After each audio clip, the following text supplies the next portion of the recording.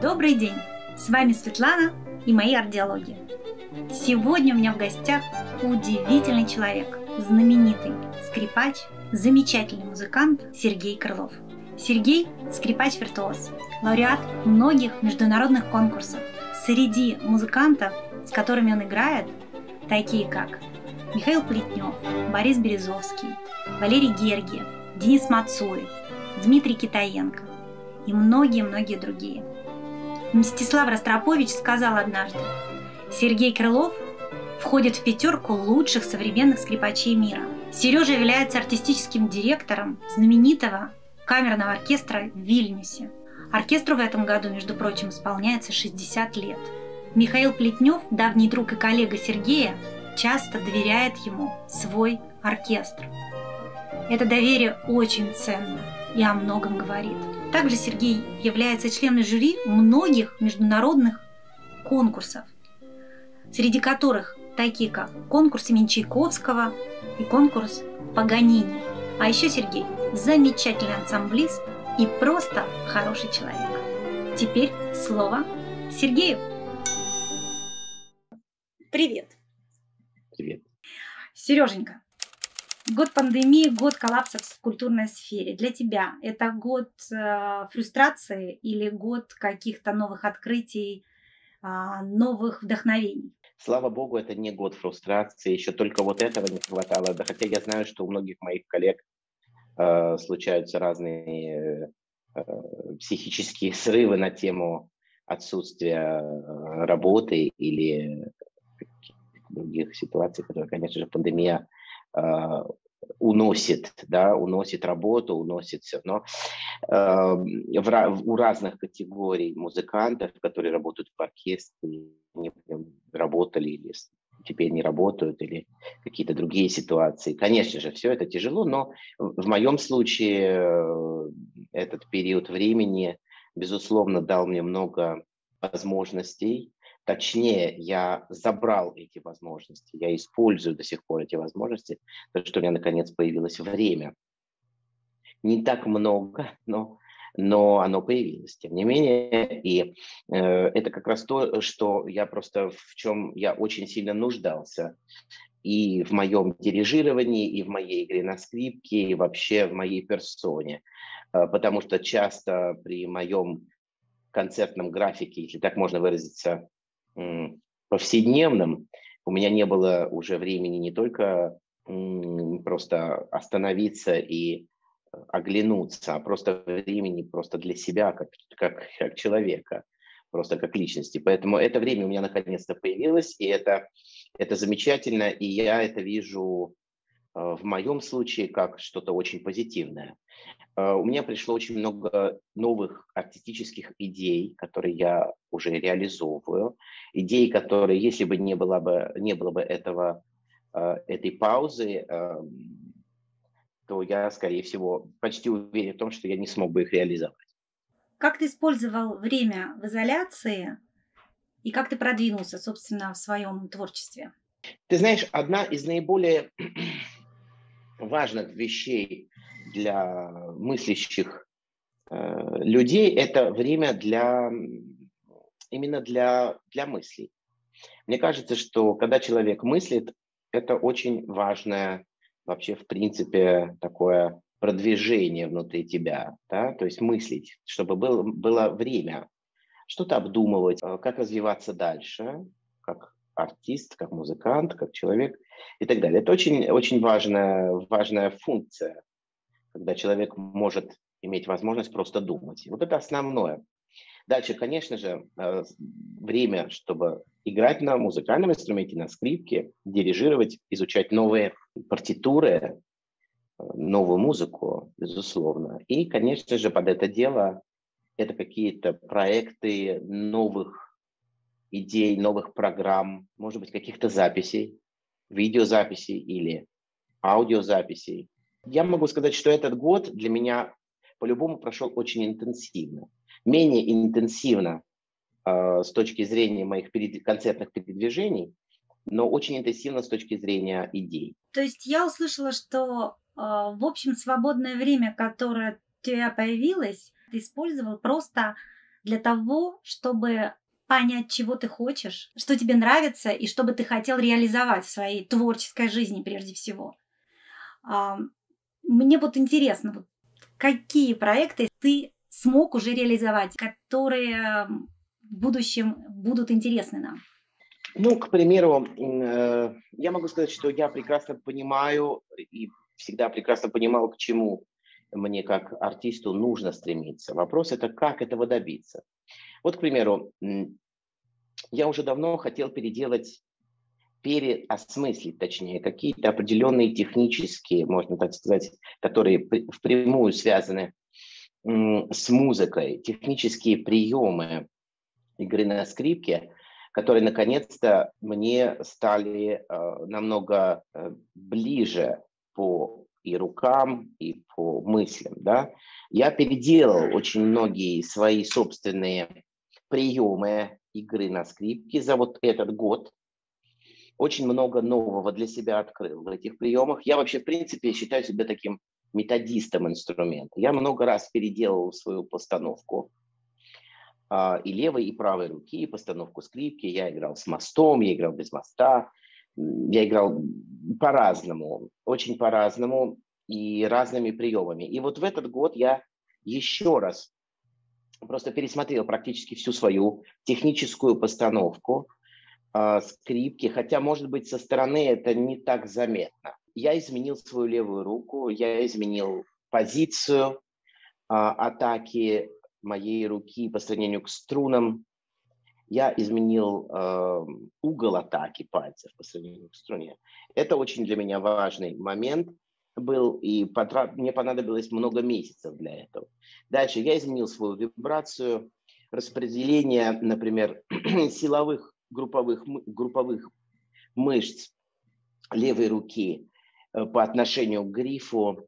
И могу еще очень-очень долго э, говорить на эту тему. Изменил позицию скрипки здесь. Теперь скрипку я держу в пяти точках опоры. В общем, это была достаточно долгая, и, но очень интересная работа. Также изменился, конечно же, смычок, его направление движения. Что касается смен смычка, там много интересных новых для меня ощущений. Угол, как я слушаю инструмент, с какого, э, как бы, с какой стороны, то есть как слушаются те или иные обертоны, что касается распределения смычка, и не только, но и что касается просто распределения веса между пальцами в момент распределения, особенно вся, весь, так сказать, весь вот этот вот, вся система переехала больше в верхнюю часть э, смычка по сравнению с моим, предположим, прошлогодним, с моей прошлогодней постановкой, где было больше сосредоточено именно на центре и на колодке. Сейчас больше сосредоточено на центре и на конце смычка, и распределение между пальцами и весом правой руки абсолютно э, другое. Также существуют какие-то определенные, появились у меня э, другие э, точки, э, как можно сказать, point of reference в правой руке, которые позволили мне играть другими ощущениями, другими как бы чисто вот методическими такими э, средствами. Вот для того, чтобы это изменить, мне понадобилось примерно 6 месяцев работы. Э, в нормальном концертном графике, наверное, у меня бы это не получилось. Но это только одна часть, над которой я работал долго. Например, также в дирижировании. А можно я задам вопрос? Смог бы ты, например, написать об этом какую-нибудь книгу? Ты знаешь, я думаю, Свет, что я могу написать даже не одну книгу, а много книг. На самом деле я уже работаю над этим, просто это еще не в, не в форме книги находится, а в форме такого, таких дневников, как бы, да. Но основной дневник, он у меня живет в голове, поэтому э, его, я думаю, что если я просто возьмусь за это, это, я думаю, что это будет даже продолжаться не очень долго я напишу ее, потому что она у меня уже все написано здесь. Но, в принципе, вот, этот, вот эта методика игры на скрипке, она всегда меня очень-очень завлекала. Мне это очень нравится. с самого детства я всегда задавал себе вопрос, почему вот нужно так играть, почему нужно так играть, почему, вот все время почему происходит, да, и вот я очень много менял за свою артистическую жизнь, менял очень много приемов э, игры на скрипке, и всегда они давали мне что-то новое. Я думаю, что я уже сейчас просто пришел к какому-то действительно общему знаменателю, что касается меня самого, как просто э, скрипача, и вот э, как бы момент, когда все это происходит, да, я думаю, что я уже дошел практически до такой какой-то для себя э, точки, которая мне уже, может быть, даже не понадобится что-то еще раз менять. Как причем я делаю это абсолютно, знаешь, для, для себя. Я считаю, что нужно идти дальше, нужно познавать себя. Да? Сейчас я поставил себе, естественно, абсолютную сверхзадачу держать скрипку в развернутом здесь состоянии, которое для моей левой руки абсолютно неудобная позиция. Но я знаю, что это улучшает абсолютно кардинально звук правой руки. Улучшить или еще углубить вот, эту, вот этот звуковой поток именно в правой. Это все делается для правой руки. Левая, конечно же, э, ей очень сложно работать в таком режиме, который я ей придумал. И нужно очень много физических сил. Просто физических чисто для того, чтобы все, вот, отдача была настоящая, просто в левой руке нужно много, много физической силы. Но э, это не значит, что нужно сильно нажимать пальцами. Дело не в этом. Просто каждая нота, которая довибрируется до конца, которая переходит в другую ноту, что для меня абсолютно э, необходимая вообще, э, если можно так назвать, деталь, но это даже деталью назвать нельзя, это просто какая-то эпоха. Эпоха э, старых скрипачей, которые просто то есть начинались скрипачи с того, что вибрация должна была, была, была передана с одной ноты на другую. Сегодня очень многие молодые скрипачи, может быть, даже не знают это. А если мы послушаем Хейфица, может быть, или Ойстраха, или всех великих эм, э, скрипачей пр пр прошлого, так сказать, э, времени, мы первым делом, что услышим, по крайней мере я, это то, что они вибрируют ноты до конца. Для того, чтобы передать вибрацию ноты с одной ноты на другую, нужна целая целый, целый ряд, целая гроздь таких просто приемов совершенно уникальных, которые, естественно, заставляют музыкантов работать очень много, да? работать левой рукой, работать правой рукой, на, понимать, как это, как это происходит, на, на, как это донести. Вот этот бельканто, да, как вот мы слышим, я не знаю, повороте, который поет совершенно уникальным голосом, и нет ни одной ноты, которая брошена сама по себе. Да и ни одной ноты раздутой при этом тоже нет. То есть нет, не брошенные раздут. Сегодня очень многие музыканты, молодые скрипачи играют просто вот такими, раздувая ноты, бросая вибрацию абсолютно. Посередине они вибрируют там, где им хочется, э, но не там, где нужно. А вот для того, чтобы определенным образом вот эту музыкальную фразу конструировать, будем говорить так, да, играть, петь на скрипке, нужны определенные приемы. Вот эти приемы нуждаются в определенных каких-то движениях, да, которые руки должны выполнять, как солдаты. Это один из самых сложных процессов на самом деле. То есть интеграция вот этого пения,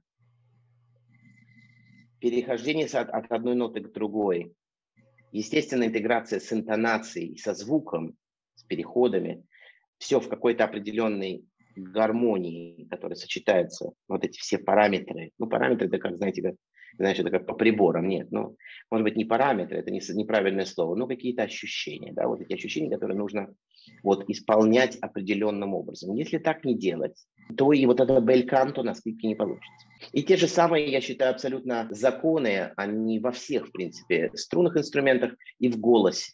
И в голосе, конечно же. Голос – это тоже тот же самый музыкальный инструмент, только вот в связках. Но концепция абсолютно одна и та же. Одна и та же. И, кстати, мы, вот скрипачи, по крайней мере, меня так всегда учили, петь на скрипке, да? Я и думаю, то что же самое уже... происходит у певцов. То есть певцы стремятся к инструментальности. То есть они хотят быть, как бы играть на инструменте.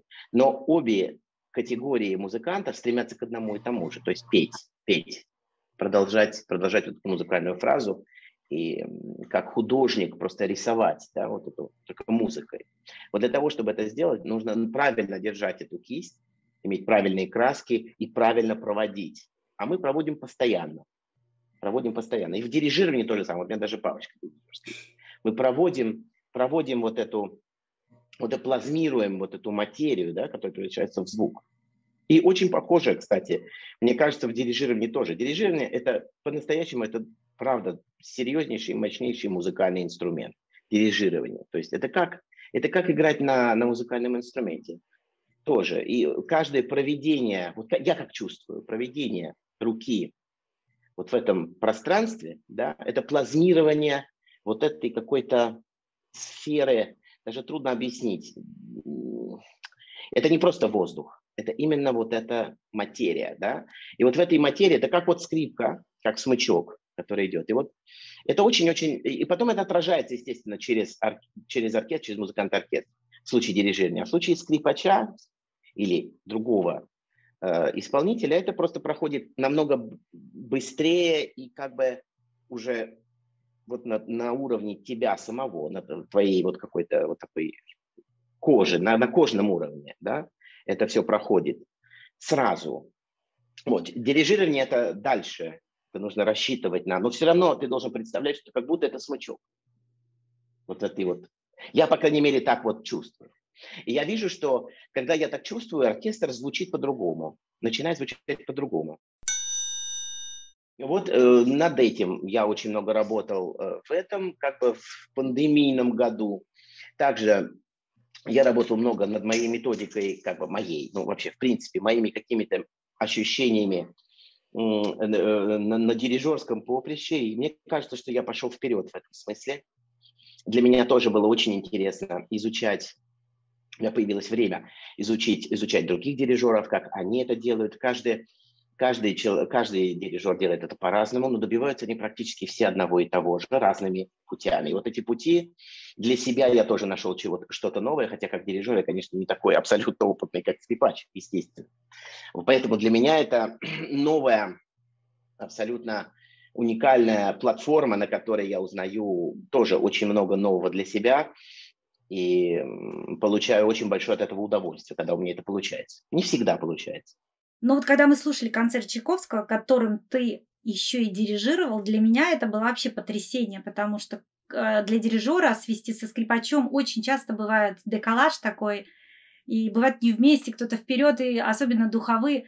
Это было совершенно идеально. Я не знаю, каким Спасибо, образом... Свет. Ну, смотри, ну нет предела совершенства. На самом деле этот концерт во Флоренции с оркестром Регионале Тоскана, это был эксперимент, явный эксперимент. Я э, сам считаю, уверен в том, что хороший дирижер – это всегда необходимое для концерта, для музыки прежде всего, и для концерта, для скрипки. То есть скрипач нуждается в дирижере, который там присутствует концерт Чайковского – это уже очень серьезный большой симфонический концерт, который нуждается в дирижере. Это я прекрасно сам понимаю, по крайней мере для меня, вот для того, как я думаю. Да?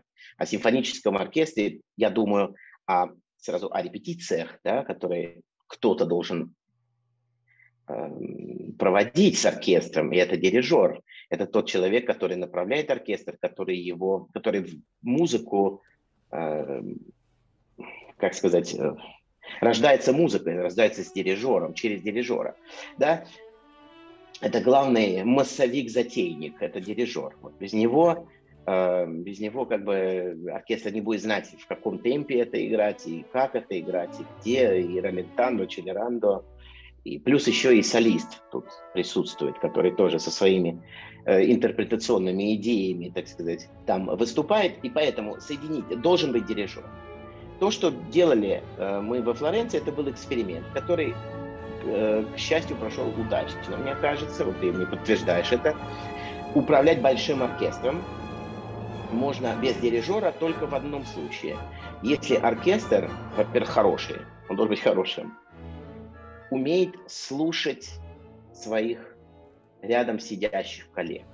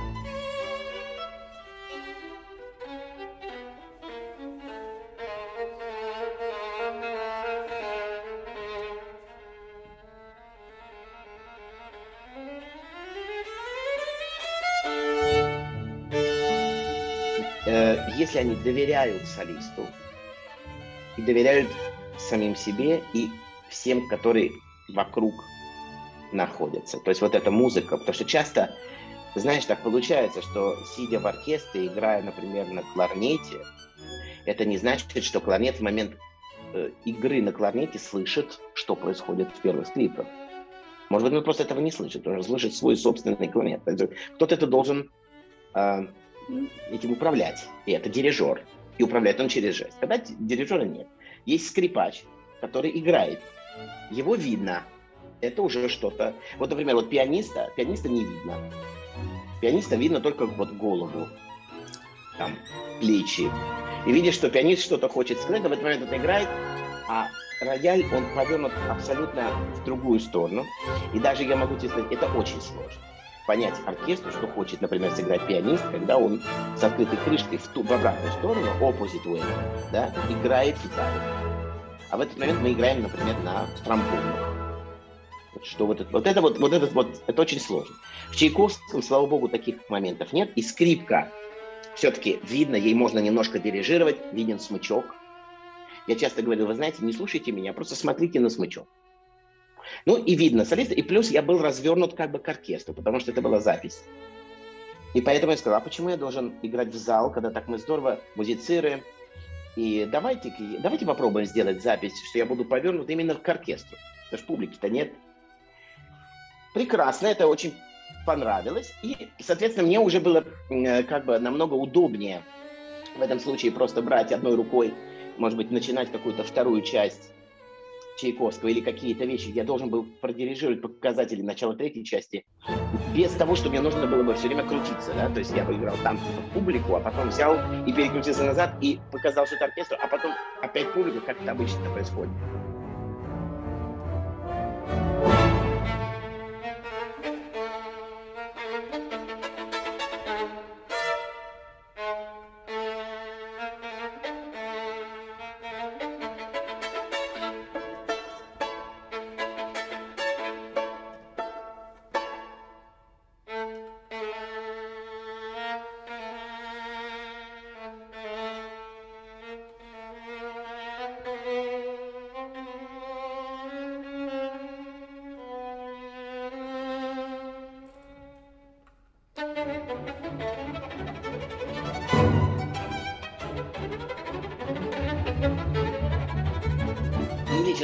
Дирижирует или что-то там смычком, или головой, или там что-то. Вот. В этом случае я был повернут оркестру, соответственно, мне не нужно было крутиться, как юла. И я мог просто, ну, где-то, и своей музыкой, потому что меня хорошо слышали, и своими какими-то body language, вот этой вот, так сказать, вот этим языком моего тела, если можно так выразить, своими какими-то движениями, я четко давал понять оркестру, что я хочу.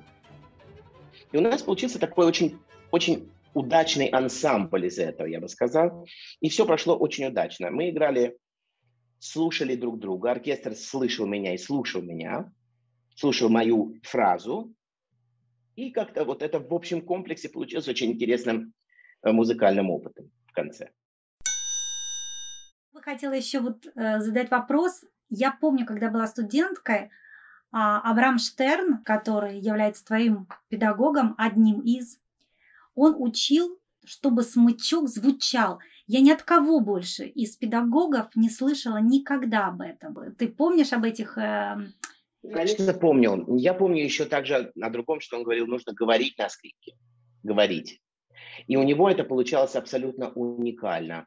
Он правда, правда говорил, как будто словами. Это было настолько выразительно. И знаете, знаешь, научить, наверное, этому как-то можно, но просто нужно давать, наверное, просто вот послушать. Вот мы слушали его вот просто вот, вот так и все. Да. Абрам Ханановича.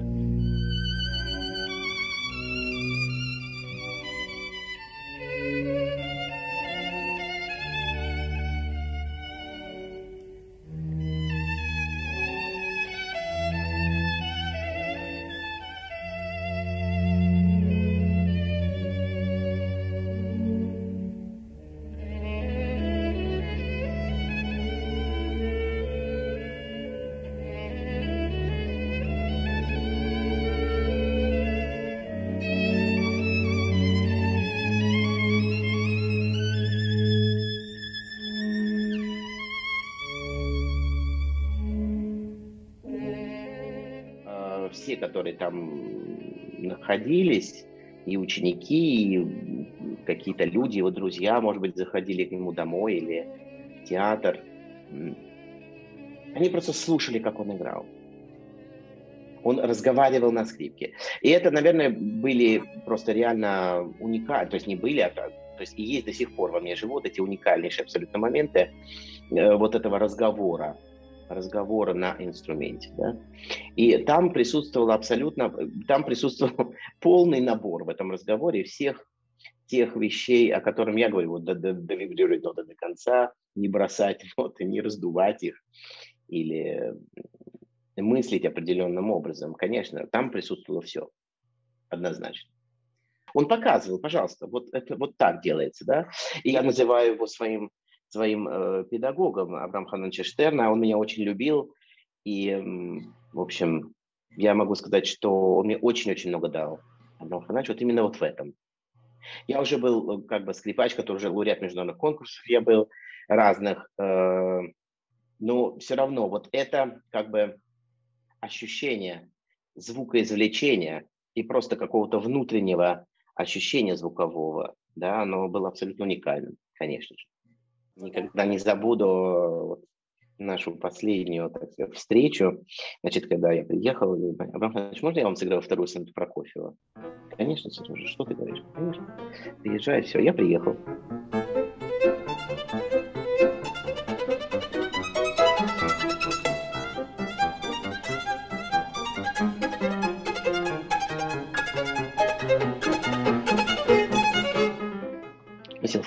Было достаточно много, много, народу, много народу. А его родственники, ученики, сейчас он уже приехал свидание. Э, сонату кофе номер два. Ну, я ее сыграл. Сначала до конца. Он послушал всю сонату. Встал, значит, с кресла. Подошел ко мне, меня обнял. Положил мне руку на плечо сказал, Сережа, это было замечательно. Так дальше продолжай.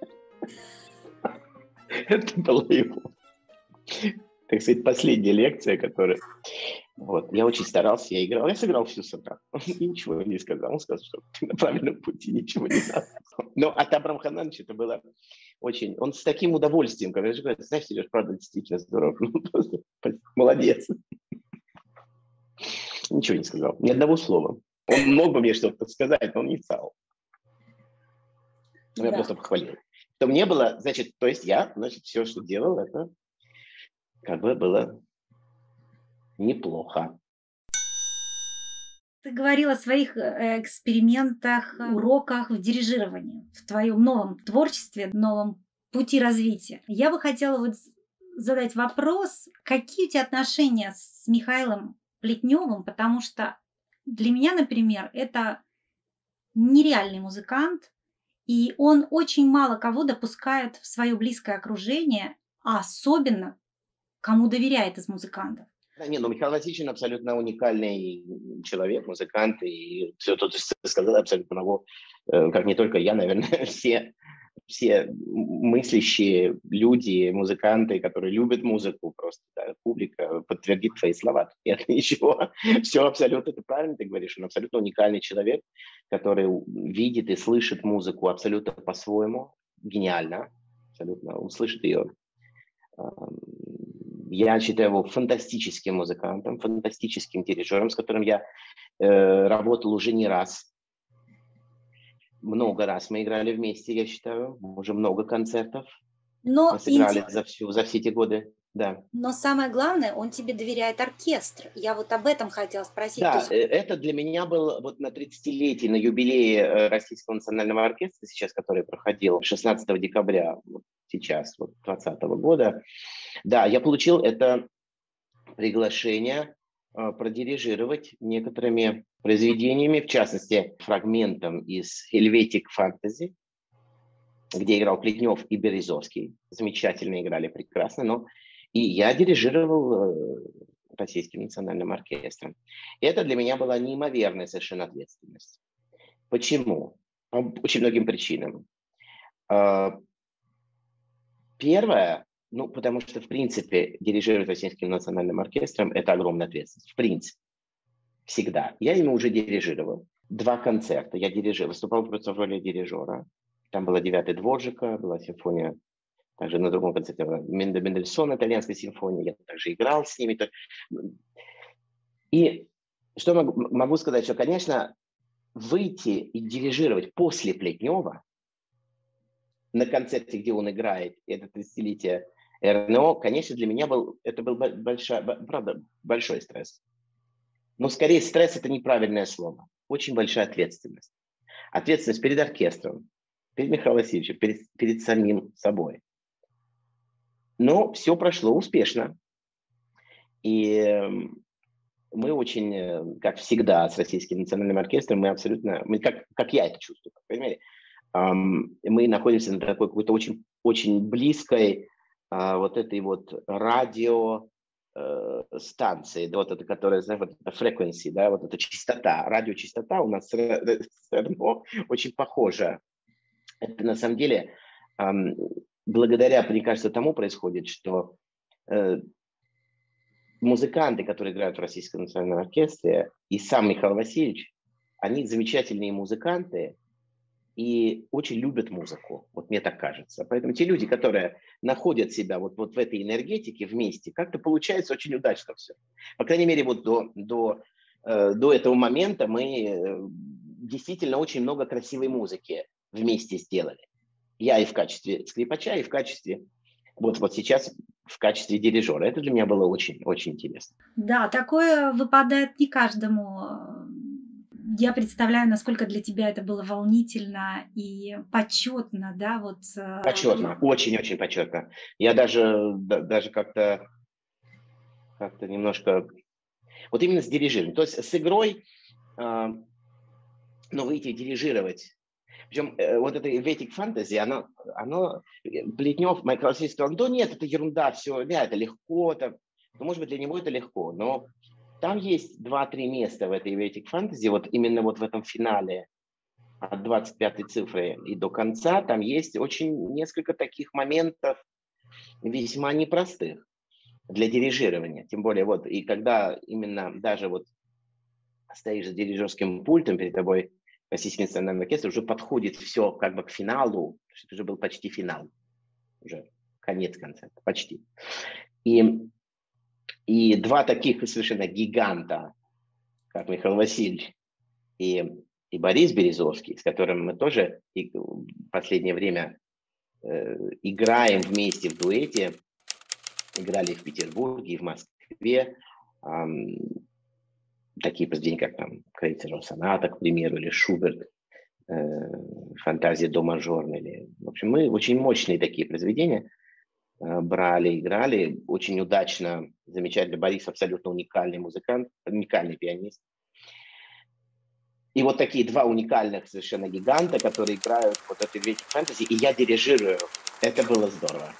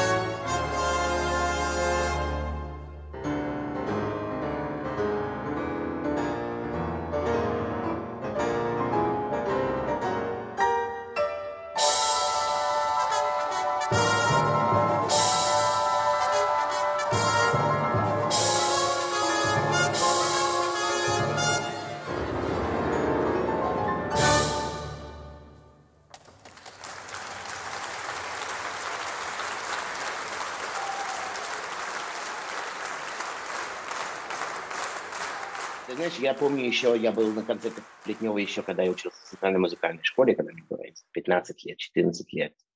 Ну вот в те годы, да, я, может быть, даже раньше я, я помню Плетнева просто очень давно уже, да, фантастические совершенно абсолютно концерты. И, и сегодня мы слушаем абсолютно уникальные вещи его. Я помню, первый раз его увидела ну, за пультом с его оркестром в, в Колумбии на фестивале, где мы с тобой тоже встречались. А, ты тогда играл Глазунова концерт. Я помню, что он дирижировал, по-моему, вторую Рахманинова. И я ощутила, как его любит оркестр и какое уважение дирижера к музыкантам, к каждому.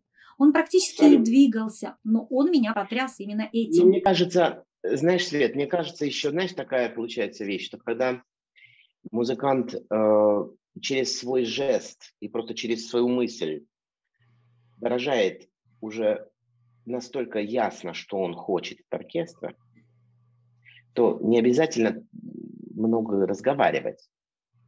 То есть мне кажется, что вообще, ну, то Михаил Васильевич очень, очень мало разговаривает на, на репетициях. Он больше по делу, да?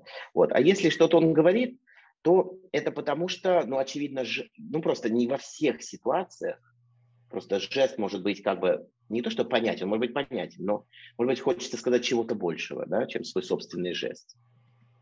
Вот. Но, в принципе, жесты Михаила Васильевича, то есть его достаточно, поэтому он говорит очень мало. Это и так все понятно. Музыкантам все и так понятно. Он говорит мало. По крайней мере, когда я играл с ним. И Чайковского, ну и разные концерты. Богате тоже.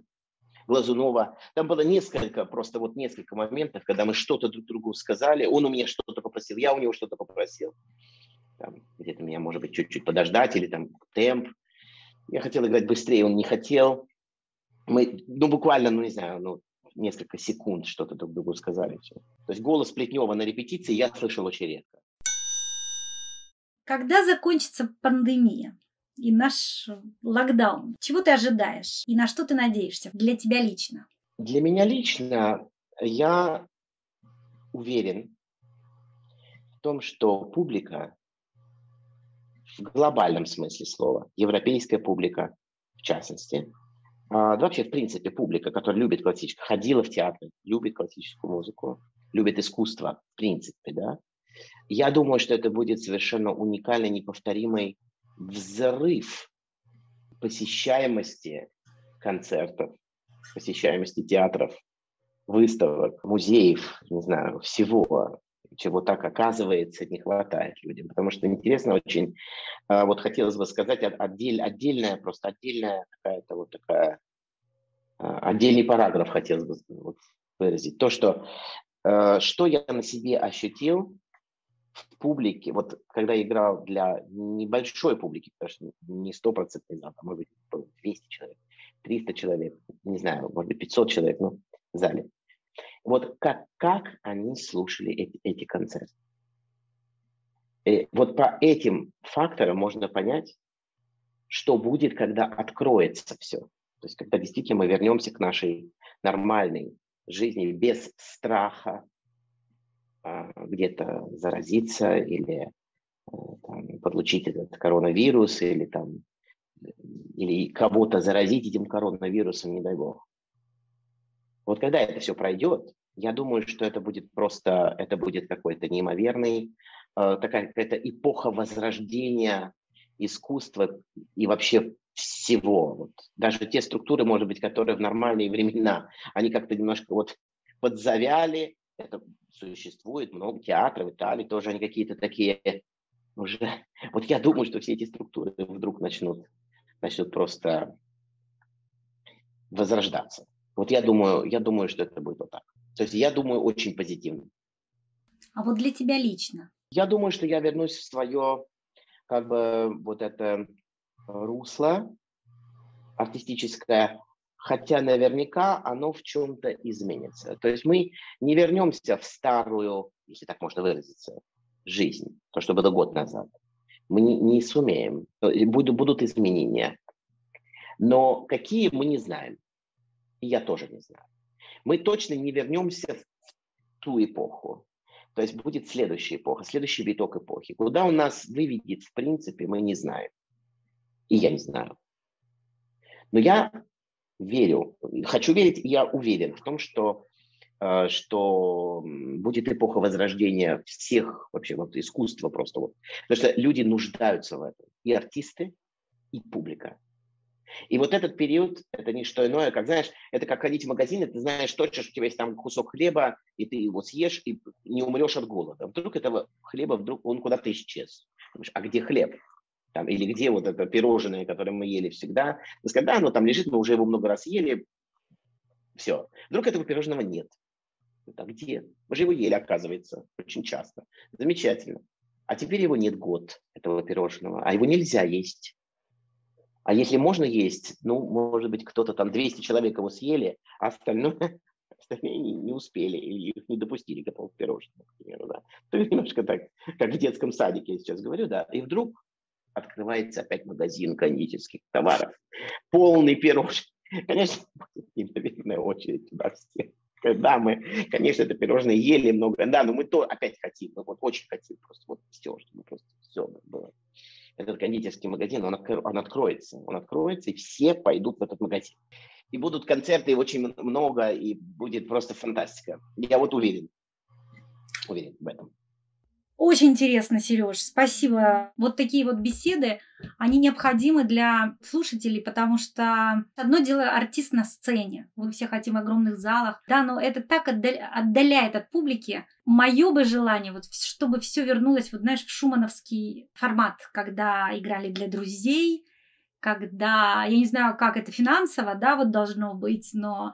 Именно, вот мы подумали абсолютно одинаково. Они играли для друзей бесплатно. Ну, было, было меценатство, оно сейчас тоже присутствует. Мне бы хотелось, чтобы мир пришел к той точке, когда у тех, у кого деньги есть в достатке, да, вот чтобы они их давали, чтобы они понимали, что искусство нуждается в денежной поддержке. То есть нужно содержать Чайковского. Фон Мека и Чайковского. Да, ну вот, или Пушкина, да, или Гоголя, ну всех абсолютно, их же... Ты знаешь, все-таки меценатство, я тебе скажу, оно присутствует. Ты знаешь, оно есть э, и сегодня. Не в той степени, но существует государство, которое поддерживает театры, но существуют меценаты. Они существуют и в Кремоне, они существуют не только в Италии, они существуют в России, они существуют в Германии. Это богатые люди, которые делают какие-то средства, они помогают молодым, молодым талантливым или, как на их взгляд, талантливым а, исполнителям, э, оплачивают им какие-то да, совершенно расходы, верно. покупают инструменты, смычки, дают какие-то, какую-то финансовую помощь, чтобы они поехали куда-то, э, учились, к примеру, да, у кого-то. Это же стоит очень немаленьких денег. И очень многие люди, не молодые студенты, не имеют возможности финансовые возможности учиться в Вене, к примеру, или в Берлине, или там в Москве, или, или в других местах. Да? Это, да, но существуют. Конечно же, существуют э, меценаты, которые помогают. А, э, организации тоже. Вот, например, Foundation Ростроповича. Ты подарил им э, скрипку? Две. Две скрипки. Две скрипки. На этих, на этих скрипках играют. Э, играют э, молодые исполнители, скрипки хорошие. Может. Опять же, если они хотят купить Страдивари, э, у меня нет э, денег на скрипку Страдивари, но ее всегда можно купить, а и мою скрипку, которую я подарил, оставить другим нуждающимся. Сереж, что ты можешь пожелать своим э, слушателям? Ну, очень просто. Я думаю, приходите еще на мои концерты. Это вот единственное, что я хотел бы пожелать и следить за моей, за моей деятельностью как э, слушатели, вот, то есть моя публика, я очень люблю свою публику, очень люблю тех людей, которые приходят на мои концерты. Я выхожу в зал, и я чувствую, что присутствует публика, которая меня знает, которую я уже слышал не один раз, и даже, может быть, не 10 раз, а больше. Я эту публику очень люблю, и они меня тоже очень любят, и я хотел бы просто продолжать это, чтобы они приходили на мои концерты. Вот что я хотел бы пожелать. Спасибо тебе Спасибо. огромное. Спасибо, да, Света. Ну что ты? До скорого. До скорого. Ну вот, я надеюсь, что вы познакомились еще с одним интереснейшим человеком. Я буду рада, если вы будете писать свои комментарии и задавать свои вопросы. Будете следить за творчеством Сергея, потому что он удивительный музыкант. С вами была Светлана и мои ардиологии. Подписывайтесь на наш YouTube-канал и наши соцсети. До скорого! А, скажи что-нибудь. Одну минутку. Тебя не слышно. Подожди, подожди, как бэкграунд. Сейчас я вопрос задаю. Ой, это отдельный да. разговор. Да, да, да, да. Слово вылетело по-русски. А, ну, не волнуйтесь, это у всех так. Неужели? Послушай, с деньгами мы разберемся. Это скучно. Будем фильтровать базар. Это правда. Ты парусником не управляешь? Управляю. Управляешь? Это другая история. В Кремоне ж нет вроде моря. В Кремоне нет. В Кремоне нет, но скоро будет. Становлюсь похож на какого-то артиста голливудского. Но это только вот так, вот так, вот так. А так уже не очень. Ты прекрасен. Так, ну, отлично. Ну, все.